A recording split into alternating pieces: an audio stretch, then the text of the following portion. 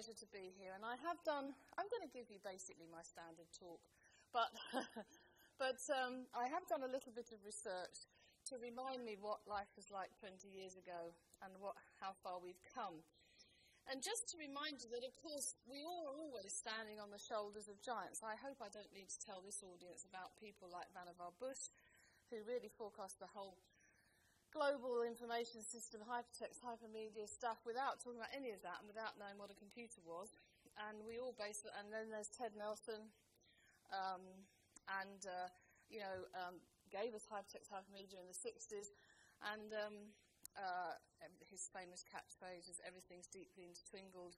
And of course, um, the late great, uh, he left us recently, Doug Engelbart, who invented all these things that we're using to the mouse and the windows and so on, and the, really did the first hypertext demo, demo over the ARPANET, I suppose it was, in 1967.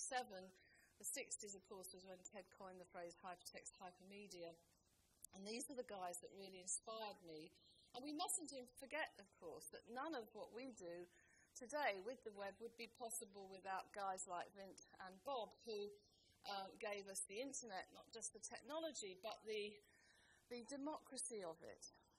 Um, that's terribly important in the web story, that you have this idea that you have this network that, that we, the people, really, or the people that understand networks, um, vote to decide how it develops that's how it is at the moment, and part of what we have to do is fight to keep it free and the web. So, where does Mountbatten fit into this? Well, um, 19, this was um, 1987 at Southampton, um, and I'd already, um, that was, was a year, I think, that I first started to hear about this thing called hypertext. Partly because there was, it was the year of the first hypertext conference in the States, I wasn't at it, um, but you heard about it. And Apple released uh, their new Mac then, and on it was this thing that allowed you to make links between stacks of cards, and they called it HyperCard. Um, and because they, they felt this new thing buzzing, this idea of making links between things on computers, documents on computers. And that 1987, it was also the year of. Um, I haven't got the clip to show you because I didn't want to put any videos in today, just slows things down. But uh, there was a program made by the Horizon people at BBC called Hyperland, and I don't know if any of you remember Hyperland. It was Max Whitby, and it was it was Douglas Adams commentating, and Tom Baker was the agent, and it was all about what the future of hypertext and hypermedia was going to be in a simulated way. And all this really inspired me and that same year, 1987, the Mountbatten Archive arrived at Southampton. And uh, here I am uh, in the archive. Many people will say that that's my shoe collection. that always gets a laugh. But that's the Mountbatten Archive, and that was multimedia in those days because it was photographs, it was um, video, it was uh, old uh, LP, old the big old um, records. It was a load of text, 250,000 text documents.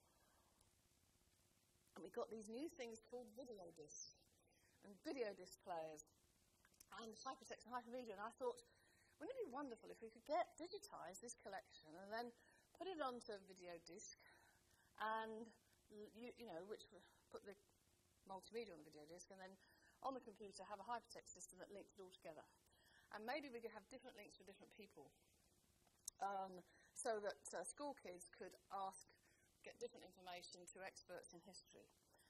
And this began the microcosm trail, and uh, Hugh, who's sitting in the audience, um, who followed this trail with me very much, I talk. And one of the things I wanted to do really was to not just have links that pointed to documents, but to um, to other documents, but actually said why that link was there. So a semantic relationship. This was the associative linking that Vannevar Bush had been uh, talking about in his paper. And the book I wrote with David Lowe in 1999 captures some of that idea. And so we started to build the microcosm system. Probably about 89, we started to spec it, and we had our first demo working in, I think, early 1990, um, using uh, digitized documents from the archive. Uh, this idea was very much that you wouldn't put the links into the documents, you'd have these links describing the relationships between the items in the document. So you might say, here's um, a document in of Mountbatten um, eh, when he was um, viceroy in Delhi, and uh, uh, minutes in a meeting, and, and here's a photograph of what happened, people at the meeting, and you'd link them together with that relationship described. Um, so our links were entities in their own right, and we put them in databases, and we did wonderful things with our links in Microcosm. This is not a Microcosm talk. You can read all about it in our papers, books, and on the web. But um, it was really exciting, and um, here we are. This is the sort of technology we had in those days. Um, there's a video file somewhere in, around, I imagine. It's not in, doesn't seem to be in that shot, but uh, lots of floppy disks and all sorts of. That was what multimedia was like. That I think it looks to me like a picture of the Mountbatten archive on that shot, but it could have been one of our other applications. Um, so then along comes this guy. Now, this, the doc, this is Tim, of course, and Tim Berners-Lee, and the document in the middle there is the, the, document he wrote in 1989. So this was the same year as we were specking microcosm, and the people in Austria were doing Hyper-G, and there was lots of buzz around the world about hypertext, hypermedia, and on a grand scale. And we were thinking about the links and the relationships between the links, but there are a lot of people out there thinking about what did hyper hypermedia on a network mean? Particularly this man who's sitting in CERN wanting to enable physicists from all around the world to share their documents on this newfangled thing called the internet. Remember, in, if you remember, actually this audience looks like it remembers the 80s. Sometimes I talk to school children or, you know, a lot, a lot, younger audiences who have no clue what it was like before the web. But um, uh, in the 80s, what was I talking about? Yeah, we were starting to use email in the research labs anyway. And uh, certainly our boss, David Barron, got us using email as absolutely as soon as it existed, so we didn't have to meet face to face. But there you go. Uh, true, Hugh? so, um, uh, anyway, Tim in CERN is trying to get physicists to share stuff on the internet, and um, he wrote this proposal in 1989 to his boss Mike Sendall, and it's called it's not called the web at this stage. It's called Information Management a Proposal. You can see the document on the web, and uh, it basically describes the web. And uh, most of it was in his head, but this was the, the, the spec for how it would work, and it describes HTML, HTTP, the idea of hypertext, the idea of documents stored on a server, and the idea of clicking and, and, and going, pulling a document down over the internet. And Mike Sendall, his boss, wrote, in, it's in that magnifying glass there, he wrote at the top, vague but exciting. And that gave Tim permission to go off to carry on building the web as part of his job at CERN. And of course, I could just stop there and say the rest, of course, is history. Um, one of the things I'll make the point is that we, are, we should be, although I would resist the fact that the physicists invented the web and it was all down to CERN.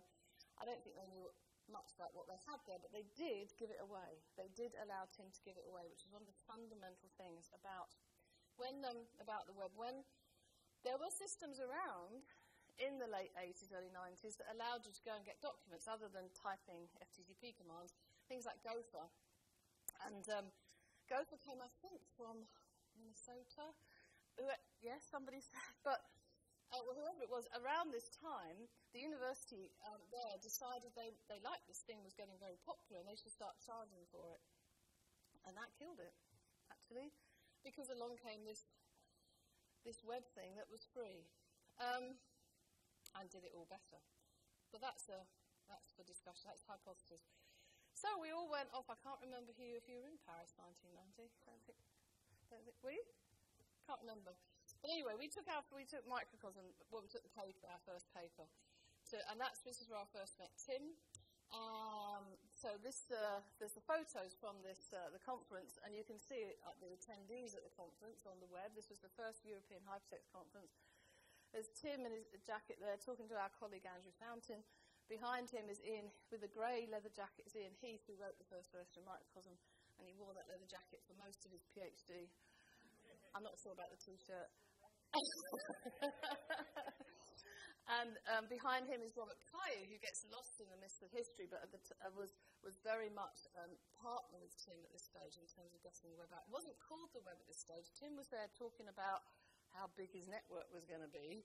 Um, and then I'm down here with Mike Kibby. Some of you will remember Mike Kibby. Um, and uh, that, so that, and that's Ian Heath's leather jacket there, so that's the proof that we were at the same. Uh, you can see on the web, it shows the participants.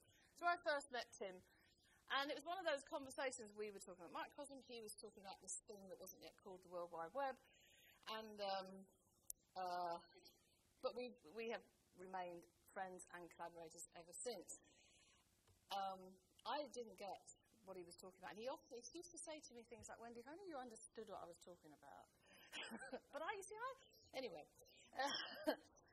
um, so the next year we go to the ACM. I never dreamt I would end up being the president of this organisation. Um, this is the Association of Computer Machinery, the, the big um, American-based uh, computer society. Um, and this was my first ACM conference, and we went off. We submitted another paper on microcosm, and um, they rejected it as uh, you know American, you know, you think, oh, they don't get it, they didn't get it. But anyway, uh, this was the, the, the, conference that famously rejected Tim's paper on the web. um, and uh, yes, Tim would say it wasn't the greatest of research papers, but pretty big idea. And anyway, what do you do if you get a paper rejected from a conference?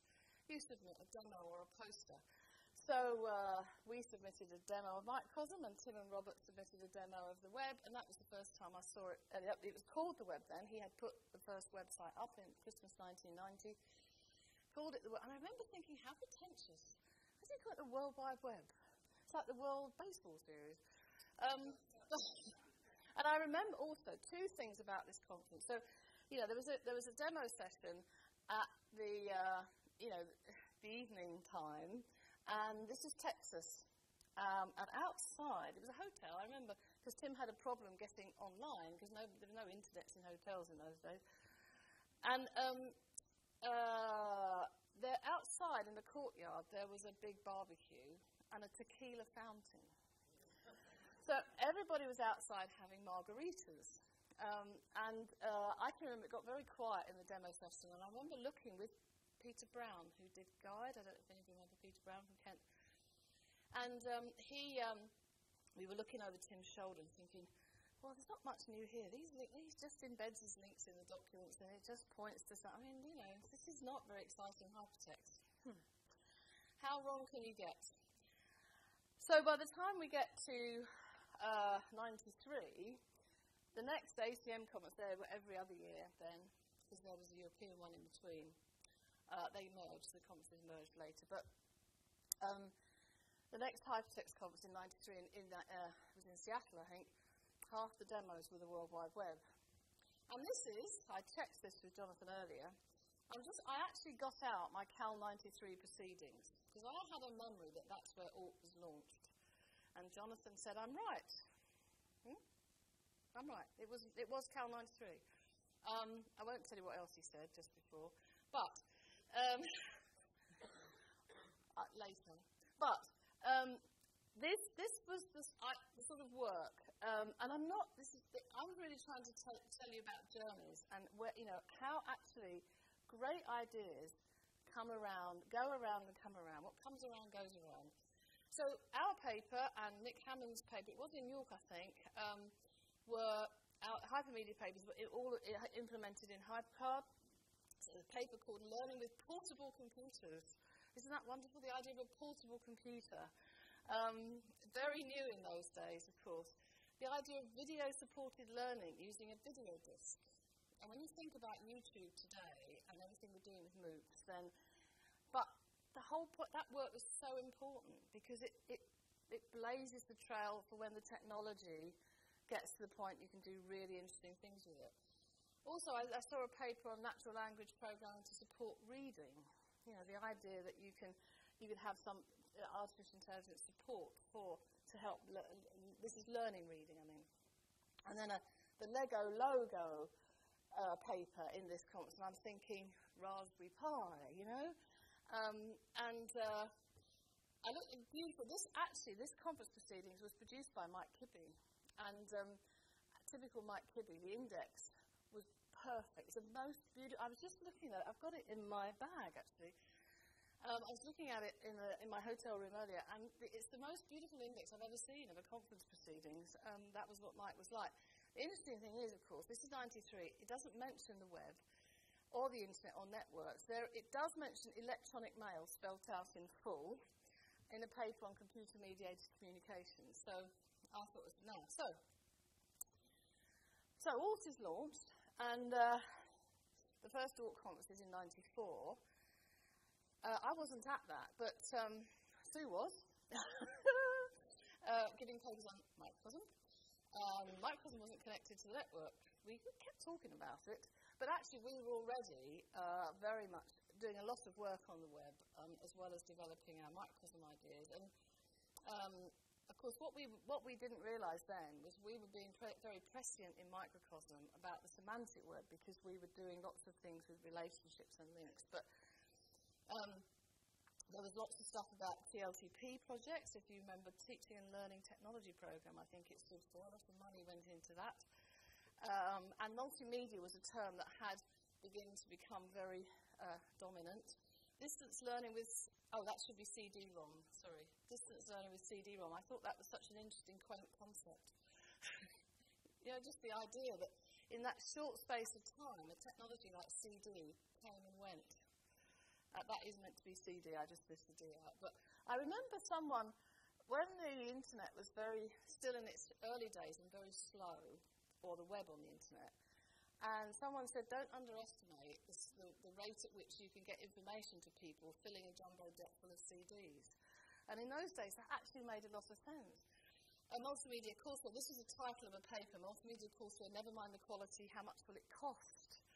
Um, and this was when I thought, I thought then, I'm thinking forward to MOOCs today, what we're thinking about today, um, but also the revolution in terms of the way we get access to multimedia these days through the Googles and the YouTubes and everything else that we have. Um, uh, the, uh, uh, there was a paper called Intelligent Tutoring Systems, which is another term that we would never use these days, but the work that was done in that area was hugely important. Real world applications. I didn't have time. No, I didn't have a copy of the paper because Myron had to send me the PDF file, and it was just the list of contents of the conference, so I don't have a copy of that paper. But I thought, wonder what the real world application was. And there was a discussion session on the World Wide Web called Accessing the Global Database. So we had started to move into this area. 94, of course, was the year of the first web conference. The web was really beginning to take off. And um, the, uh, those of you who remember the very early days, Tim's first uh, interface for the web was both a browser and an editor, and it was quite complicated to use. And um, the Mosaic guys, well, the people in Illinois, uh, Marc Andreessen, uh, developed Mosaic as a browser, which was just a read only, and that's when the web really began to take off because it was simple for people to download and use. Um, and they were pushing very hard Firstly, if you read Tim's book, Weaving the Web, tells you in that that they tried to change the name of the web to Mosaic. And for a long time, the Americans thought that the web was Mosaic. It was an American invention called Mosaic, for a few years anyway. Um, and it's only really since the Olympics that Tim has been that well known in America. The Olympics last year, I mean, when he did that performance. You, you hear the, the ABC, was it ABC or CBS commentators when he came on, they said, uh, that has raised Tim's, that appearance in the Olympics has raised Tim's profile hugely around the world, if he wasn't well known enough anyway. But, um, so what happened was that Robert and Tim pushed very hard to have the first web at CERN in May 94. I've got the T-shirt. That's the T-shirt I'm proudest of from all my proudest of from my conferences. And um, I throw most of them away, but I've kept that one. And then the second one was the same year in Chicago, run by the, the guys from Illinois. And here's the, oh, well, let's just, before I get to here's the story of the web, just a few comments about why the web won. Um, first of all, it's a network thing. That the thesis that Tim had was that the network effect is everything for hypertext. And so Either everybody will use it or nobody will. So all of us doing our little hypertext programs on floppy disks or PCs or, you know, with a few hundreds or thousands of documents, and that the only people that could look at, only person that could look at was the person looking at that screen, had it wrong. The, the, the, and, but this thesis means that the, the, if you look at the math, the way the networks work, which I won't go into here, it basically means that because it's built in this in the way that Tim built it, so it's very easy for everybody to use, and he gave it away for free, then it means that there is only one of everything generally. So there's one search engine. I mean, there are lots of them, but there's a dominant one. In maths, it's a, a um, oh god, giant attractor. Um, you know, the other people come and go, and but once you get a dominant one, you want to be where everybody else is. And the thing is that the more people that are there, the better and richer that environment becomes. So there's one Facebook. I mean, there was a MySpace, and it's still there, but it's tiny. There's, and there's one shop, Amazon, and there's one auction house, eBay. There are different versions of those in different cultures and different countries. You go out to China, their Google is Baidu, their Twitter is Weibo. They have the same stuff, but millions of people using it, of course. But generally, there is one dominant version of all these things. There's one YouTube. So you don't have to decide where you go to look for a video, you just go to YouTube. That's what makes it all work. And people who don't get this don't get the web. And actually, this will apply to MOOCs too. I'll just leave you with that thought as you're developing your MOOCs. Make sure you're with the right ones. I have no idea about which one is going to be the dominant and how that will work, but for sure, eventually, there'll be one place you go and look for your MOOCs, I would, I would predict. Um, the other thing that was very important about the web was error 404. And this taught me a lot about human behavior, because I can remember hypertext papers that said, that proved that if you had dodgy links, links that failed, or pointed the wrong thing, or were dead, people wouldn't use your system.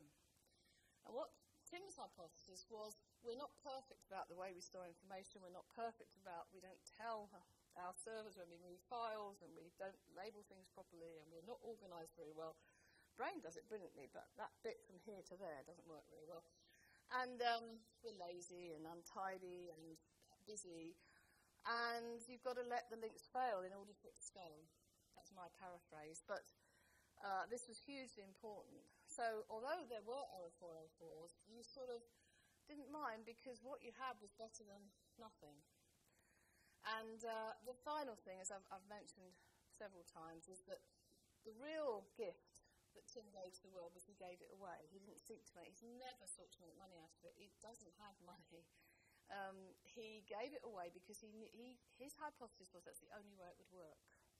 And of course, it's an experiment we can't rerun. It also reminds me of Douglas Adams, Adams' Hitchhiker's Guide to the Galaxy, the fact that we're actually all an experiment run by the mice. Um, maybe the web is an experiment run by the mice, but, mice, but it would be hard to re- rerun it now. The only thing that might happen is we, there are several different th- ways in which we can kill this thing that we have grown and created. And if we did, or you know, take for example what's happening on Twitter. I'm getting a bit off. Oh, this is something I might, a story I might have told later. The trolling on Twitter. I'll tell you a bit of the Twitter story later. But you know, if women or anybody feel that they don't want to be on Twitter because of the bullying, they won't be on Twitter, and Twitter will die. And then what happens to all the marketers and the um, the celebs, and you know, I mean, it, we have just as we do with the physical planet, we have the ability to kill this thing that we have created um, in many different ways, many, many different ways. Um, and so, you know, the whole net neutrality debate about keeping it open, an open playing field for access. And the key thing about what Tim did was the protocols were open, he didn't make, try to commercialize it, and they were universal. So wherever you go in the world, whatever you're doing, whatever app, in whatever language, whatever culture, the protocols and standards you use to access to put that app on your phone or on the internet or wherever are the same all over the world. And that, you know, same true for the internet, true for the web. So important. So all my, oh, but we've got much cleverer links than you've got, all had to go on hold for about 15 years. Um, but boy, have we built, I don't mean we at Southampton, I mean the world has, or the world that has the web now, and it will be the whole world, I guess, the whole world with mobile phones. Um, has uh, it's, a, it's a strangely linkless world because actually making hypertext links in the web is quite hard, and you don't organise it very well. But that's another whole story. I won't go into that one. But but um, uh, we have built the most amazing thing. And what happened, of course, was Google came along uh, to help because we were developing our links, the, the clever links, to help you find things and help you create hypertext. But what happened was that Google came along, and here's the graph I love using. Um, this is produced by a PhD student of mine. And so the red line are the, effectively the number of users of the internet using the web. The blue line are the number of hosts. Green is he's put Facebook on, and he's put Twitter on, the last version. This, is, this slide is all over the web. It's um, readily available on Creative Commons. But um, several stories. I've told you the Mosaic story, and of course, they commercialized. And um, created Netscape Navigator, and then you have the apocryphal story of Bill Gates and Microsoft's Bill Gates saying, "Network, what network? We sell operating systems for PCs," and then famously changed his mind that night, or whatever it was, for whatever short space of time. That ends up with um, a web browser in the operating system in Windows called Internet Explorer, which wipes Net- Netscape Navigator off the map uh, all sorts of stories around that. But just to take the story of the dot com bubble is a lovely one because you can see Amazon emerges in 96, and, and that was the beginning of when people saw that there was money to be made in technology. They all wanted to be Bill Gates, so they saw these new companies coming up, and the investors piled in without really knowing what this landscape was. And if you look to the your right, and look at when Wi Fi and broadband emerged, remember what access to the internet was like before you had a high speed network in your home. BT turned it off last week, the phone access to the internet. It was painful at times, wasn't it? It made that awful noise and then it timed out, and trying to load a picture was like this. And so nobody had computers in the house. There's no real reason, unless you were a techie, um, to have one, and so you're selling into a market that doesn't exist. You're trying to sell online, but nobody's there to buy it. It was a bit like the people who, you know, imagine trying to be a bookseller just after the printing press has been invented and nobody can read. There's a hard, hard sale to make. But so the bubble was bound to burst, and we've always had bur- uh, bubbles emerging and bursting as this whole wave of technology comes and goes. Just to finish the Google story, Brin and Page, I really must speed up because we're only at 94. Brin and Page um, published their paper uh, on the worldwide, on sorry, on Google, the algorithm that, that founded, you know, they used to found Google, about how to find things on the web using the links. So they didn't just use the search for the term you were looking for in the document, they also used the links to work out who, how many people were looking at that document. So it was effectively a recommender system that we all, every time we make a link, we help Google make money. Just think about that, people. Not only do we destroy a tree, we help Google make money.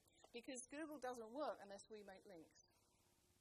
So if we all stop making links, good on. Anyway, I don't want Google not to work. I just want them to be careful about what they do. But um, uh, where was I going with that one? Yes. Yeah, so yeah, so they, they that, but it's nearly 10 years after the web started that we got a search engine. Before that, we had Yahoo and we had, what were the others, AltaVista and others. But in the early days, they used to print directories of what websites had been published that night, or, you know, here's our favourite, we always keep lists of our favourite websites. And we thought that was enough. And no, it wasn't. You had to have uh, something like Google to make it work. But you couldn't build Google until the web, there was enough web there to make it a return on investment. Right? And then, of course, they had to, when they published the paper, they'd done the science, they had to prove it scaled. Imagine the idea. If you'd really thought about it, in 1998, the idea of harvesting the web we have today, day in, day out, all the time, everywhere, in order to make Google work, just mind boggling. But they've done the engineering to show it work, and then they had to get the business model. And boy, has that become successful. And now they're, of course, going into phones and everything. Uh, phones and driverless cars and amazing company. But to speed up, then, we're now, the, the browser's changed so we could write to the web, which is always part of Tim's vision. Uh, and once we got that, we started to get the web blogs or the blogs, and the um, social networks started to emerge. And boy, did we underestimate how much people would want to tell the world about themselves and communicate. We just underestimate what we've known about people forever is we like communicating. And we're into the world of social networking, mobile web, and what next? Well, the one thing to remember is the web is actually a network of networks. It's an amazing complex system that grows because we put stuff on it.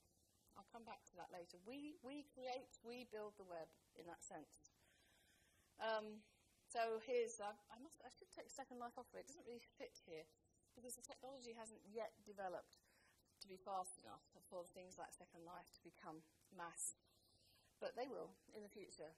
But things like, um, you know, I've mentioned most of those as the things that dominate our lives today, and we're using them all in education in various different ways. And I was in Malaysia last week and I gave a talk and I wanted to put a new Wikipedia slide up to illustrate how we build the web. And uh, so I'm in Malaysia and when I Google to get Wiki- Wikipedia, I don't know why I did that anyway, uh, it comes up in Malaysian and I thought, who's the person in Malay people will know more than anybody? And I thought about the Queen and I thought, no, David Beckham. So this was the slide I used last week. Just to make the point that when we were developing Microcosm, I used to think, wouldn't this be wonderful? It, you can see the, the power of the links you could have. We did an experiment with the, um, I think it was the OED, the, the Oxford English Dictionary, and we got a digital version of it, and we automatically generated all the links for all the terms in the dictionary so that you could take from a document, click on any word, and go to the reference in the dictionary. We thought we were very clever, didn't we, Hugh? Because uh, it was cool. But of course, you had to buy the OED to do that what Jimmy Wales had the view of is this is how it works in the web, is you, you get people to create it. And when it started, people said, yeah, this won't work. Even Jimmy Wales is supposed to say he didn't think it would work. And now look how we use it. And actually, of course, it works because it's faster than the printed version in terms of being corrected. It's, it's developing its own rules um, and management governance system as to who's allowed to change things. Most people, you can edit things. You, you know, there's, there's, there are, and, and, there are certain people can take pages down if they become misused. But um, generally, it grows because people write for it. And the factual stuff, you know, the science and the history and the um, geography and all that, um, you know, there's so much there. And you now go to it and it's there. That whatever you want to find, it's there. And um, the amazing thing about it is that's happened in the last, what, eight years? Will it be there forever? I mean, eight years is nothing in terms of the development of information systems and dictionaries and encyclopedias. It's nothing. And imagine if it wasn't there tomorrow. Just imagine if you woke up, none of this was there. And we, what's happening is in the speed of time we're doing this, this is happening. The industries that create, the old industries are disappearing. So you can't go uh, and buy a printed encyclopedia now. They don't produce them. So if the web died and Wikipedia died with it, we'd have to find a way very quickly to recreate the encyclopedia industry. But of course, anyway, that's all, you know, things to hypothesize about. So Wikipedia, YouTube, I mean, what a difference YouTube makes in terms of, and this is very recent, really. Of course, it's scary that it's all owned by Google, but you know, this is how we are getting our entertainment. We're also making our entertainment. And, you know, I put up the Doctor Who page, and you can see not only the latest episode from the BBC, but all the history stuff, you know, and all the old episodes and bits of them, and oh, so much. It's a, a, an unbelievable tool for entertainment and, of course, for education. I mean, this is, I assume, the way the MOOCs will go out eventually. You know, you have to oh, the people trying to make money out of this stuff have to think about this. Uh, I, I, don't, I, don't, mean universities here. I mean, the companies who are seeking to make money out of technology for MOOCs. Look at what's happened with YouTube and just think are you actually going to make money out of your company? Uh, so, and the bit about the Giant Attractor, remember all this. Twitter, it's another one. A lovely story is about Twitter. Um, the, uh, I'm running out of time. I can't tell you all these stories, but basically, it started as something that told you what I'd had for breakfast and is now uh, a tool for uh, saving lives and marketing and disseminating information. And I always remember that when, when um, Stephen Fry, this is the early days of Twitter, the first two years in the UK, Nigel's, Nigel, my colleague, Nigel Shadbolt, is an early adopter. I didn't start until much later, but Stephen Fry, one of the gadget freaks, famously tweeted from a lift. He was stuck in a lift in July 2008, and he just picked up his iPhone 3G. So that's and that's we're into this mobile world. And you know, one of my PhD students um, did these graphs. I just flicked through them. Not, uh, um, so the red is the number of you know that that's in total the number of iPhones. The blue is the Android, and the black line is the number of registered Twitter users, and the black dotted line are the um, sorry the registered, and the black solid line is the active. And um, if you look at October 2010, where you had a huge spurt in registered users, not all active, what happened? Things like um, the World Cup, the Arab Spring in 2011, um, and the Haiti earthquake in January 2010. This all got, these are all disseminated on Twitter. And um, this is what got people very interested in this mechanism. You get things faster on Twitter. And then as you move forward, you get the Arab Spring and the, the Japanese earthquake. I said London 2012, 80,000 tweets per second uh, over the world. I haven't got time, but you all know about citizen science. This is another thing that's changing the face of everything. That people who don't know anything about science can help identify galaxies. This is really going big. There's lots of work, and I think it's going to have a major impact on science education if we use it well.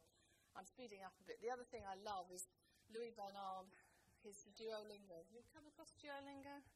Or CAPTCHA? Have a look. This is a wonderful way. Just the, the CAPTCHA thing, if you, when you type in words to prove you're not a, well, sorry, when you recognize um, handwriting to prove you're not a robot, if you get a second one, you're helping to, to uh, translate documents from handwriting, you know, because if the, um, ah, I can't think of the word, when you scan from handwriting into, into uh, sorry? Thank you. Um, then uh, you, you're doing that. And what he's doing with the languages is he's helping you learn the language, and at the same time, you're translating the word.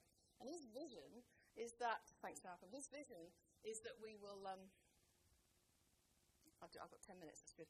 This, his vision is that we, billions of people, can translate, end up translating every document on the web to every other language by this mechanism. He can show you the maths when he gives the keynote. He's great. So, um, I've got to speed in linked data very quickly. The web now is a web of data, and this was always part of Tim's vision, was this uh, very rich web that was more than just linking documents and people. Um, and here we are, two knights in a day. How about that, folks? I can't believe it. Um, I don't know how many papers are written by um, Two Knights in a Dame, but um, this is the paper we wrote in 2006 about actually the semantic web. Forget all this artificial intelligence worrying about proving whether an ontology is correct or not. It's all about data, putting data out in a standard form and linking it up. That was the semantic web revisited. And actually, it was always part of Tim's vision, because machines can process data and interpret it in ways that we can't. Machines are pretty poor at documents. They can find documents, but they can't work out what's in them. But a machine can do wonderful things with data and make inferences. This is what we were trying to do with microcosm years ago.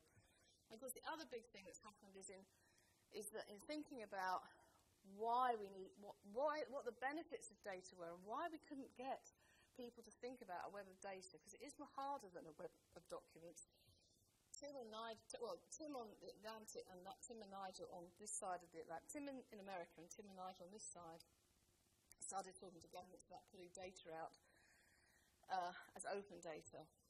And now that's, that's really picking up, and, and industry's doing it as well, for all sorts of reasons transparency, efficiency, uh, economic social value. The UK has funded the Open Data Institute, and linked open data is even more powerful. And of course, we're into big data. I want to get to the point there's, there's the whole story of open data that um, you need, and they've, they've funded, the UK government funded the Open Data Institute, and all sorts of things like uh, putting data out, for example, tells you not what the GPs, not who they're prescribing the drugs for, but what type of drugs they're producing. So you can work out which GP surgeons are spending too much on proprietary drugs, for example. And you can look at that as a patient of that surgery and work it out. There's so many things you can do in this world. We at Southampton are, have an open data service. We're putting all our um, data about the university out as open data, and recently we've put all our putting all our information about courses, who teaches the courses, um, timetables, all as open data for the students, for people to write apps and for the students to use, um, and about our facilities. And I think there's a movement in the UK really to get this going as a meme for institutions to link up their data um, using this open data. There's a thing called Chris Gutteridge at Southampton runs data.ac.uk there are several universities, I know Oxford's on as well as us, several universities who put are into this, and this will this will create new ways of students being able to ask, where's the best place to study computer science, or where can I learn about um, medieval history? Where can I do a degree about medieval history? Without having to trawl through Google, there, there'll be answers to questions. Anyway, this is an exciting world, and this is really at the heart of this um, our development of web science. And I, I haven't got time to tell you the whole story, but basically, as I've said, we've created this thing called the web. We put the content on, and we've created this very complex macro phenomenon that grows of its own accord. And our theory was, our being Tim Nigel, myself, and, and Danny Weitzner and Jim Hendler the States, that we needed to study this, and we called it web science. And um, it's a very social, technical the point is, it isn't just about the technology, it's about people too. It's people stupid. And that's what I think is so important for educators um, to, to, get this. Not, not everyone has to study web science, but to get this idea that this isn't just about technology, it's about human behaviour, and it's about economics, and it's about politics, and it's about law, and it's about maths. There's so many things. Five minutes. Right. So we launched Web Science, and we run conferences, and we have a network of labs around the world, and the bit about the web being a socio-technical system uh, is that Tim didn't create the web, he invented it, as I've said. And as my social science friends say, we technologists think about things in a deterministic way. I'm going to build a machine it takes in this stuff and puts out that stuff.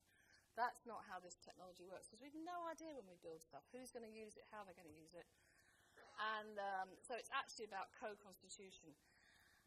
So what we're doing is about people, human beings and the technology working together to create something, artifacts that wouldn't have existed before. I'm flicking through now because I'm running out of time. Web socio-technical, and we talk about building social machines. And I think, again, this is hugely important for education.